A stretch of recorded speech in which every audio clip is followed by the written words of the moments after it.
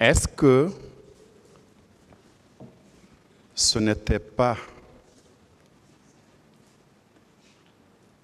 votre si je veux, je me présente, si je veux, je ne me présente pas, qui a occasionné le malentendu entre vous et les forces vives de la nation. Parce que quand vous avez pris le pouvoir, vous avez dit que vous n'étiez pas intéressé par le pouvoir. Vous aviez dit que vous étiez candidat à aucune élection, à aucun membre du CNDD. Et par la suite, euh, le comportement a dû changer selon les forces vives de la nation et vous avez vous-même dit que vous, personne n'est né militaire et que vous êtes citoyen guinéen au même titre que tout le monde. Si vous voulez, vous ôtez la tenue, vous vous présentez à une élection. Si vous voulez, vous ne vous présentez pas. Ne pensez-vous pas que c'est votre volonté d'ôter la tenue pour être candidat qui a amené euh, cette incompréhension-là? Merci bien, monsieur le procureur. La question, ce sont des questions comme ça que j'aime. Honnêtement, c'est pourquoi hier, je n'ai pas voulu vous indexer, monsieur le procureur. Je disais qu'il y a un procureur, c'était bien vous, quand nous étions dans la salle. Monsieur Camara, répondez à la question, s'il vous plaît. La question, elle est simple. Monsieur le procureur, par rapport à votre question, je me mets en faux de tous les esprits propagandistes qui ont tenté après ceci, cela pour dire c'est parce que le président Dadis voulait se présenter aux élections. Monsieur le procureur,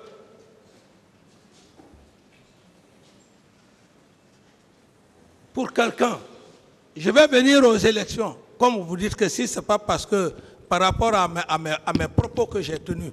Et je ne vais pas nier, monsieur le procureur. Imaginez, un homme, vous prenez le pouvoir, le pouvoir militaire, tu prends le courage de faire venir des barons. Mais quand j'ai dit que tous les leaders, j'avais suspendu d'ailleurs la Constitution, mais quand j'ai dit à la population que tous les leaders politiques rentraient, rentraient certains étaient fâchés, ils m'ont dit attention, j'allais bloquer la Constitution, même le professeur Alpha n'allait pas rentrer, parce que je savais déjà son parcours mais c'est un risque que j'ai eu à faire et je ne le regrette pas. Parce que j'étais dans l'esprit qu'il y ait la démocratie. Vous envoyez, des, vous envoyez des, leaders politiques. Tout le monde les a vus ici au palais. Monsieur le procureur, chacun passait tour à tour, à tour de rôle. Et à un moment donné, ces mêmes leaders essayent de vous talonner comme si vous n'étiez pas guinéen.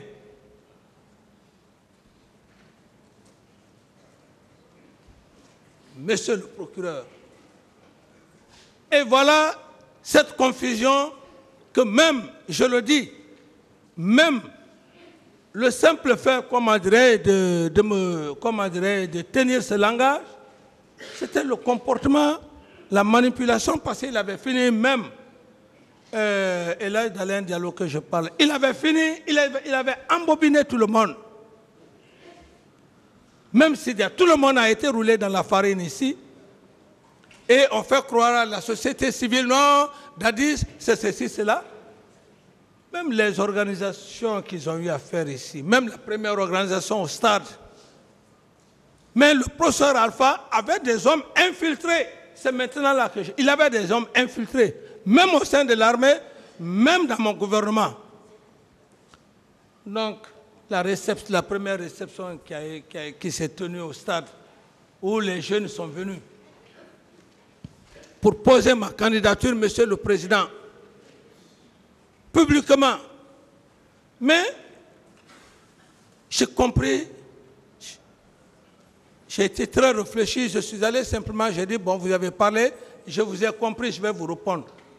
Monsieur Mais ça, Camara, c'était- c'était... c'était le- Monsieur, Monsieur Camara, est-ce que c'est à cause des propos cités par Monsieur le Ce procureur n'était pas la qui a, cause... eu, qui a eu rupture entre vous ce- et les forces Ce vives n'était pas la cause, monsieur le président, ce n'était pas la cause. Monsieur La le procureur, cause- d'autres questions. C'est La bon. cause, hein? elle est, elle est, elle est Je continue mon Voilà. interrogatoire, Monsieur Camara. Alors, puisqu'il y a eu incompréhension entre vous, les forces vives ont estimé qu'il fallait tenir un meeting pour protester énergiquement contre une éventuelle candidature du capitaine Moussa Dadis Kamara. Ils se sont entendus sur une date et sur une heure. Bien entendu, sur un endroit également.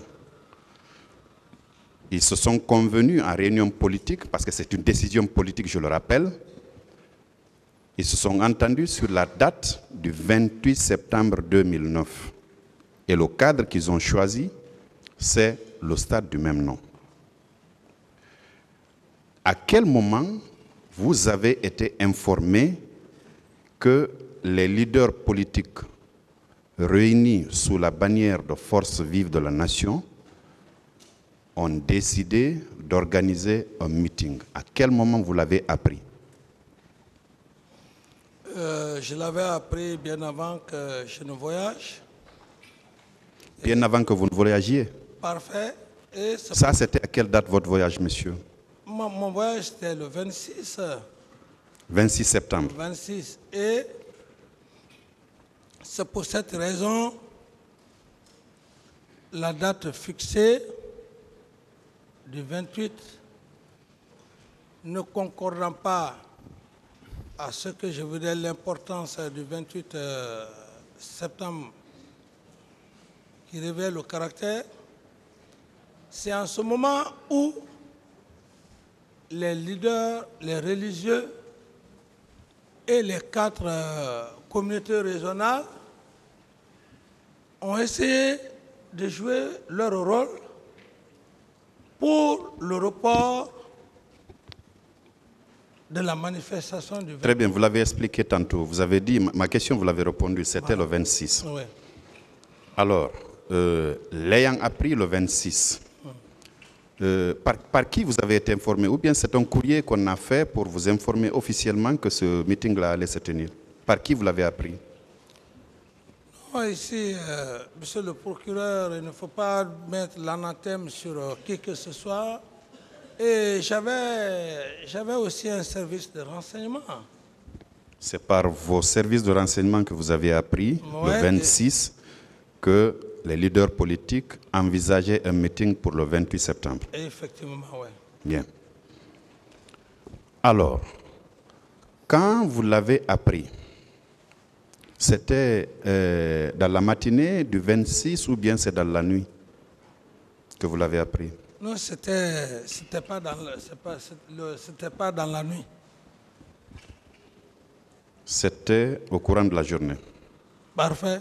Parce que avant même que je ne voyage, j'étais déjà informé. C'était pas dans la nuit. Alors, le 28, vers 1h du matin, vous avez appelé M. Sidia Touré Oui. pour lui demander de reporter le dit meeting à une autre date. Oui. Et l'endroit, euh, éventuellement, de, de tenir le meeting au niveau du stade de Nongo, c'est ça? Oui. Bien. Est-ce que vous confirmez, c'est avec le téléphone de M. Tibou Kamara que vous avez pu joindre M. Touré, qui vous a dit qu'il se faisait tard, il était déjà le 28, et qu'à cette heure, il ne pouvait appeler aucun leader politique pour demander un quelconque, report. Merci, Vous le confirmez? Oui, je, je voulais juste vous dire un petit mot. Et tout ça, ça prouve à suffisance, même dans mon PV, vous n'allez pas voir apparaître le nom de Thibou Camara. Ça veut dire que j'étais tellement fatigué, j'ai juste demandé est-ce que je peux joindre M. Sidia?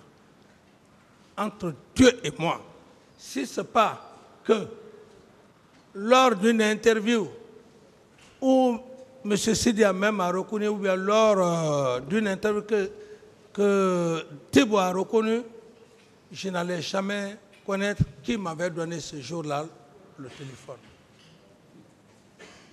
Voilà. Parce que dans mon PV, le nom de Thibou même n'apparaît pas. D'accord. Monsieur Moussa Thiebro Kamara était présent au moment où vous effectuez l'appel Je ne me rappelle pas, sauf que lui-même qu'il dise qu'il était là, mais Thibou même que j'ai